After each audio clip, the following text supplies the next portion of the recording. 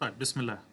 آه هذا الفيديو الهدف منه نشوف كيف ممكن نرفع الأسماء تبع الطلاب in a bulk على المايكروسوفت تيمز طريقة سلسة وسريعة نسحب الأسماء من ال Moodle أو من ال e-learning website وبعدين بنحطه على المايكروسوفت تيمز خلينا نشوف بالأول كيف بدنا نسحب الأسماء. بنروح على أي واحد من الكورسات اللي موجودين عندي.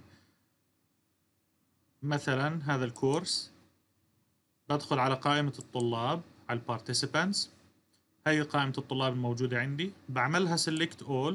وبعدين بختار إني أنزلها كملف Excel هلا ملف ال Excel اللي راح ينزل عندي زي ما أنتم شايفين هو عبارة عن قائمة طلاب فيها أسماء الطلاب أو المدرسين وأرقامهم وإيميلاتهم. أنا من كل هذا الموضوع ما بيهمني إلا الإيميلات فبعمل delete وبخلي بس إيميلات الطلاب حتى إيميل المدرس مش بحاجته.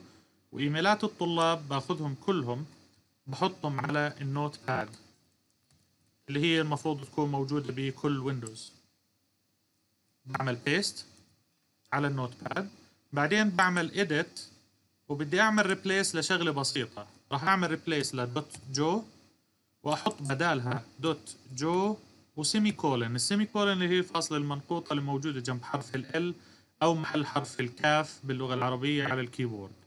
بعمل replace اول صار ورا كل اسم أو ورا كل ايميل زي ما أنتم شايفين في عندي dot jo و semicolon هلا بشيل هذا السطر الزياده اللي من الآخر وبعملهم select كلهم وبعمل copy وبعدين بدي أروح أعمل شغلة ثانية. بدي أروح على الكروم بفتح شاشة جديدة وبدور على plugin اسمها Refined Microsoft Teams.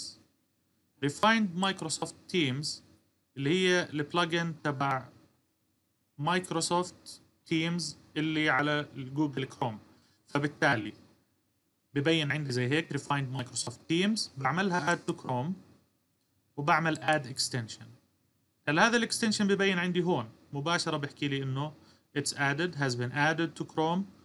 وبعدين آه إن شاء الله هيك ال plugin صارت موجودة. بروح على ال Teams اللي موجود عندي. بعمل create ل team جديد. خليني أسميه new team بعمل next طبعا بطلب مني قائمة الطلاب أو قائمة المدرسين. خليني أعمل له skip بالأول. بعمل ال settings تبع ال team تبعي. بعمل ال channels وما إلى ذلك. بعدين بروح بعمل add member ومن ال members هون بعمل paste للإيميلات اللي وراهم semicolon وبتبين عندي هون كبسة اللي هي ال bulk import. ال bulk import بس أكبس عليها. راح يجيب لي كل قائمة الطلاب اللي كانت موجودة عندي. Within few seconds بصير عندي added 16 users from organization. بعمل close.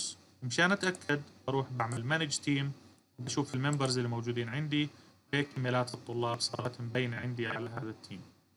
وهيك بكون ضفت الطلاب على team جديد موجود عندي. وشكرا لكم ويعطيكم ألف عافية.